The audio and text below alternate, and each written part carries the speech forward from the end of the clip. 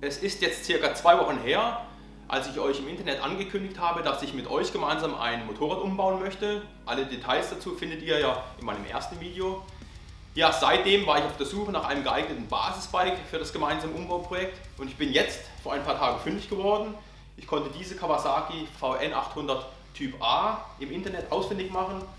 Ein super Motorrad in einem sehr gepflegten Zustand, Garagenfahrzeug, wurde von einer Frau gefahren, hat 28.000 Kilometer auf der Uhr und ist wirklich in einem Top-Zustand. Ich habe jetzt aus dem Ansaugtrakt noch hier diese Drossel ausgebaut. Das bedeutet, ich werde im Laufe der kommenden Woche nochmal zum TÜV vorfahren und das Motorrad nochmal komplett abnehmen lassen, damit wir erstmal wieder zwei Jahre Ruhe haben. Und vor allem werde ich die volle Leistung von 56 PS wieder eintragen lassen, nachdem ich diese Drossel hier jetzt demontiert habe. Das bedeutet, mit der Demontage des Motorrads, damit wir es anschließend wieder aufbauen können, müssen wir noch ein paar Tage warten. Ich habe mir gedacht, ich zeige euch mal mein Projektboard. Das ist so ja, meine Orientierung für das ganze Projekt, damit ich weiß, wo wir mit den ganzen Zahlen und Daten stehen. Vielleicht kann der ein oder andere von euch ja davon was Nützliches übernehmen, wenn er auch mal ein Projekt starten möchte. Und deshalb habe ich mir gedacht, ich zeige euch das mal, vielleicht ist was dabei und wenn es nicht interessiert, der kann jetzt abschalten.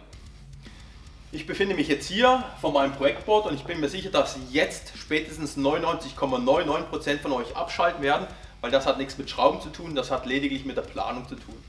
Für die 0,01%, die das trotzdem interessiert, möchte ich es gerne kurz erwähnen, denn es sind vielleicht ein paar Komponenten dabei, wo der ein oder andere im Rahmen seines Bike-Projekts äh, übernehmen kann. Also zum einen habe ich hier mal die grobe Kostenplanung für das ganze Projekt. Also alle Komponenten, die wir austauschen werden oder die wir besorgen müssen und auch die TÜV-Eintragung und was sonst noch anfällt, habe ich hier mal aufgelistet. Hinten dran mal eine grobe Hausnummer geschrieben, was ich vermute, was das kostentechnisch bedeutet, also was für Kosten hier auf uns zukommen.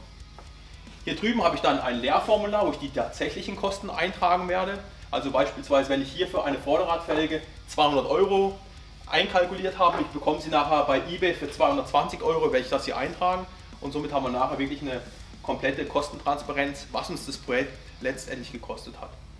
Dann habe ich hier noch ein Lehrformular für die ganze Zeiterfassung. Das bedeutet, jede Stunde, wo ich am Bike investieren werde, werde ich hier erfassen. Ist immer für mich ganz interessant, damit ich auch ein Gefühl dafür bekomme, wie viel Zeit, wie viel Lebenszeit habe ich an dieses Projekt verschwendet. Zum Beispiel bei meinem letzten Bike-Projekt, der Umbau meiner Harley, habe ich ca. 430 Stunden investiert, also doch eine erhebliche Menge, wo man da an Zeit äh, verschwendet oder investiert. Ja, ansonsten habe ich hier noch drauf die Partner, die ich für das Projekt gewinnen konnte. So habe ich zum Beispiel Jobit gewinnen können. Bin ich sehr froh, dass Jobit mit dabei ist, weil Jobit, ich glaube, das kennen die meisten, hat eine riesen Auswahl an Teilen, die man sehr gut beim Balkombau gebrauchen kann. Ansonsten habe ich Kellermann noch gewinnen können. Kellermann, ich glaube, da brauche ich auch nichts dazu sagen. Die kleinen Blinker, die die aktuell herstellen, diese Autoblinker mit der 3 in 1 Funktion, Rücklicht, Bremslicht und Blinker. Ich glaube, das sind momentan die Blinker auf dem Markt, und da konnten wir sehr wahrscheinlich nichts Besseres finden. Ich glaube, da hat auch keiner was dagegen, dass wir die verbauen werden. Wenn ihr noch Partner wissen solltet oder wenn ihr ein Partner sein könntet, meldet euch gerne bei mir. Also ich bin froh, wenn wir die Liste hier noch erweitern können und wenn wir noch mehr Leute, die gute Produkte haben, hier involvieren können. Würde mich freuen, wenn sich noch welche melden würden. Ja, ansonsten habe ich hier das Basisbike einmal grafisch dargestellt, um den ganzen Umbau so ein bisschen strukturiert vorzugehen. Also das ist nachher unser Bobber, den wir irgendwo zusammenbauen werden. Das ist das Originalbike und jetzt im ersten Schritt zum Beispiel werde ich jetzt das Bike erstmal tiefer legen, damit das optisch ansprechender ist. Und dann werden wir die ganzen Teile, die wir austauschen wollen, entfernen und dann seid ihr gefragt, wenn es darum geht, wie wir das neue Bike gestalten werden. Und damit das Ganze eben so eine Linie drin hat, werdet ihr sehr wahrscheinlich erstmal die Frontpartie bestimmen. Und wenn wir die dann umgebaut haben, werden wir im nächsten Schritt auf den Tank zu sprechen kommen. Könnt ihr hier einen Tank auswählen, der aber irgendwo mit der Frontpartie übereinstimmt. Und so können wir das Bike Stück für Stück aufbauen, damit das nachher auch eine richtig geile Linie bekommt und nicht nachher irgendwie ein wildes Durcheinander gibt.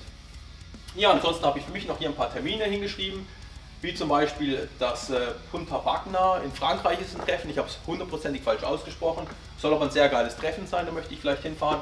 Dann das Chopper Mania am 22. August oder auch das Bobber Pilot Treffen am 4. Juli. Das sind einfach für mich so Termine, wo ich vorhabe hinzugehen und vielleicht hat ja der eine oder andere von euch Lust mit dabei zu sein und wir können gemeinsam hochfahren. Vielleicht kann ich dann noch eine Umfrage machen auf Instagram, wer alles Bock hat, damit hinzufahren. Oder solltet ihr noch gute Termine haben, gebt mir die durch und ich kann die Liste hier erweitern und noch ein bisschen Werbung für eure Termine machen.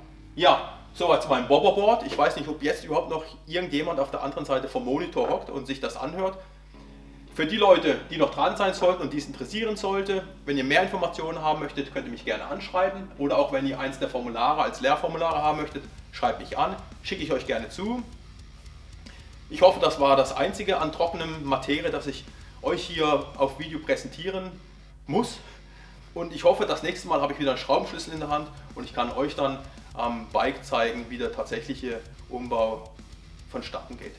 Ich hoffe, ihr bleibt dran und wir sehen uns beim nächsten Video.